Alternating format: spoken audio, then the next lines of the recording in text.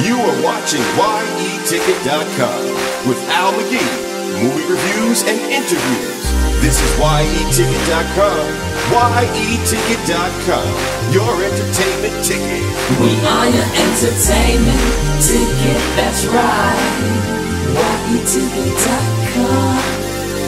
We are your entertainment ticket, that's right. Hey, this is Al McGhee with Entertainment Ticket.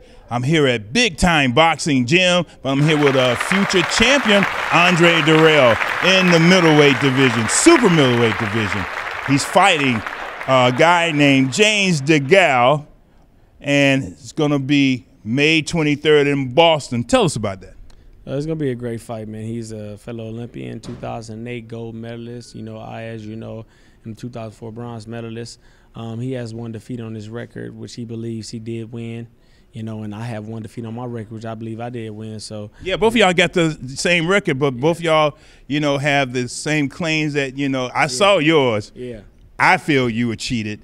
I saw his. Eh, I thought that was a draw, but yours was much clear. You were the you were the better boxer that night. right, definitely, definitely. You know, But- so that still leaves the fact that he feels like he's undefeated, and then of course I feel the same way. You know, so we're in for a good fight just to keep our, you know, so-called blemish record, you know, unblemished. Because I want to say I'm definitely cheated but never defeated.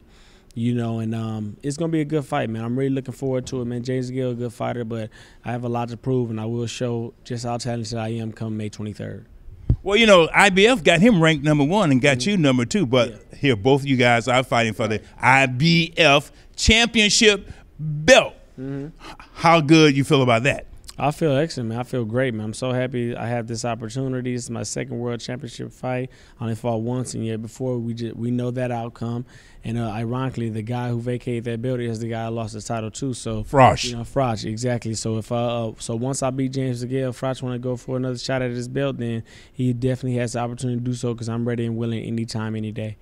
And man, your training has been impeccable. In fact, you got the heavyweight champion Chris Byrd on your side, and also you got your grandfather. Yeah.